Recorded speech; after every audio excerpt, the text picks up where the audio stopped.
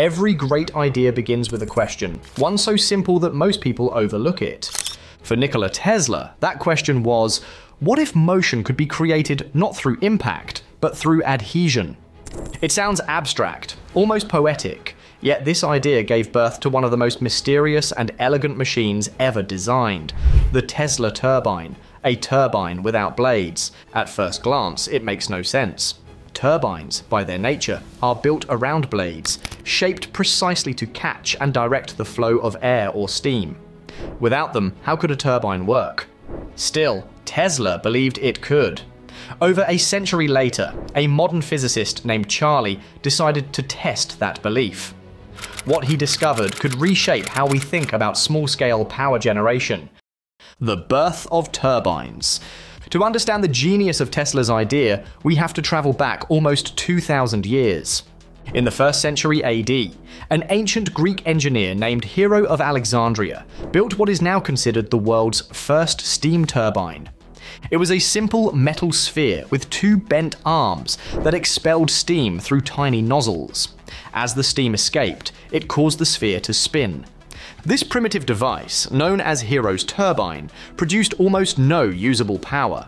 Yet, it demonstrated a powerful principle that fluids, when properly directed, could generate motion. Centuries later, the Industrial Revolution would turn that principle into one of the cornerstones of modern engineering.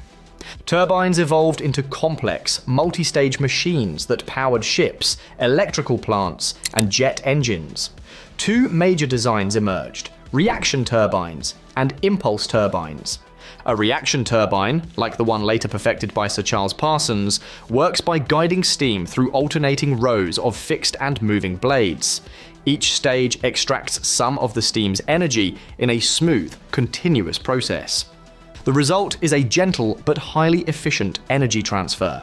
The steam accelerates, passes through the blades, and leaves slower, having given up part of its kinetic energy. Impulse turbines, on the other hand, take a more direct approach. Pioneered by Gustave de Laval, these turbines rely on nozzles that accelerate steam or gas to extreme speeds before smashing it against the blades.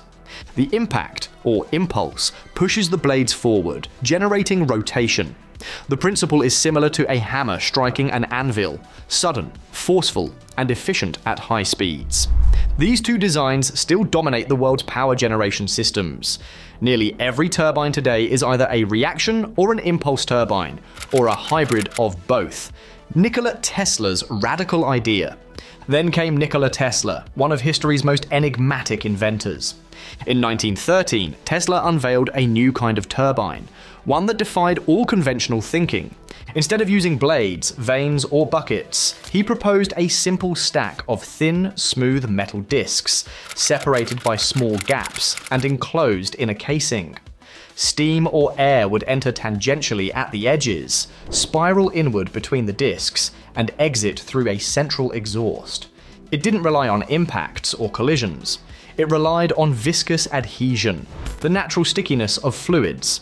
Though air or steam may seem intangible, they still possess internal friction. When a moving fluid touches a solid surface, a thin layer of it clings and drags the surface along with it.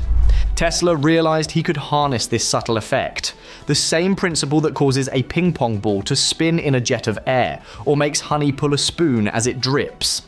As the fluid spiraled inward, it would gently transmit its momentum to each disc. With dozens of discs stacked together, the energy transfer would be remarkably smooth and efficient, without turbulence or vibration. In theory, it was capable of extraordinary efficiency, as much as 95% under ideal conditions, far beyond what traditional turbines could achieve. But there was a problem. The Tesla turbine produced incredible rotational speed, but very little torque. It could spin fast, but it struggled to move heavy loads. Engineers of the early 20th century dismissed it as a curiosity, impractical for large scale power generation. The world moved on, leaving the bladeless turbine as another one of Tesla's beautiful but forgotten dreams. A modern revival. More than a century later, Charlie, a physicist and engineer, decided to revisit Tesla's invention. Unlike many Tesla enthusiasts who built replicas for demonstration, Charlie wanted to make the concept practical. Working out of his workshop, he redesigned and built his own version of the Tesla turbine, a working model that could generate usable electrical power. His turbine consists of 75 aluminum discs, each precisely stamped with small dimples that act as built-in spacers. These discs are not bolted or welded together. They float freely on the shaft, expanding and contracting with temperature changes, allowing smooth operation across a wide thermal range. Compressed air enters tangentially through the casing, spiraling inward between the discs, and exits through a central outlet. The turbine is coupled with brushless DC motors salvaged from RC cars, used here as electrical generators. When air at only 20 to 40 psi is fed into the system, the turbine spins fast enough to generate over 1,200 watts, enough to light two 600 watt bulbs. In controlled tests, Charlie's setup achieved as much as 4,200 watts at higher pressures of 40 psi, proving that the concept, though simple, could deliver meaningful power output. Engineering elegance. What makes Charlie's design fascinating is its simplicity and resilience. Traditional turbines are finely machined, sensitive to impurities, and prone to erosion when exposed to wet steam or dust. The Tesla turbine, by contrast, thrives in such conditions. Because there are no blades, there's nothing for particles to strike or wear down. It can handle unfiltered geothermal steam, complete with minerals and debris, without significant degradation. This property makes it uniquely suited for small, decentralized power systems, where ruggedness matters more than perfection. Charlie's company, Tester Energy, now develops these turbines as micro steam power plants. Each unit is compact enough to fit on a workbench and capable of running independently from the electrical grid. In the event of a blackout, a small boiler and turbine like this could keep essential systems powered entirely off grid. Tesla's original vision of distributed, efficient energy, machines that could bring power to remote areas without massive infrastructure, is finally taking shape, not in a laboratory, but in a garage. The physics behind the beauty. The genius of the Tesla turbine lies not only in its engineering, but in its physics. Instead of brute force, it relies on the fluid's boundary layer, the thin region near a surface where velocity transitions from zero to the free stream value. By exploiting this layer, Tesla managed to design a turbine that works with the flow of nature rather than against it. Every molecule of air or steam contributes to the rotation, not by impact, but by cohesion. This means less turbulence, less noise, and less mechanical stress. It's a remarkably quiet machine. So quiet, in fact, that when it runs, the only sound you hear is the hiss of air and the faint whir of the shaft. It's the kind of invention that feels both ancient and futuristic, an elegant harmony between science and simplicity. A legacy rekindled. Nikola Tesla called this turbine his favourite invention. That's a remarkable statement coming from a man whose work gave birth to alternating current, radio, and wireless transmission.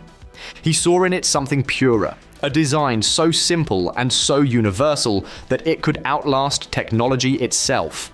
And though the world wasn't ready for it in 1913, today's materials, tools, and computational understanding might finally unlock its full potential. What Charlie has done is more than rebuild a century old design. He's revived a philosophy that innovation doesn't always mean complexity, and that sometimes progress begins with returning to forgotten simplicity. His aluminum discs, stamped and assembled by hand, echo Tesla's original vision efficient motion born not from impact, but from interaction.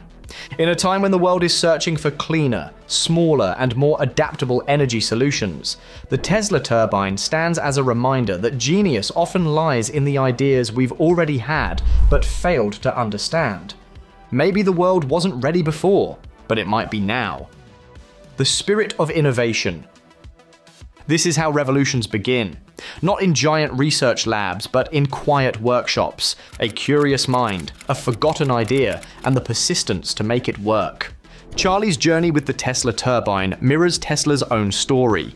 Bold imagination met with skepticism, followed by the quiet satisfaction of proving that nature's simplicity often hides the deepest truths. As the turbine spins, smooth and silent, it whispers a message across time that even the smallest forces, when understood deeply, can move the world.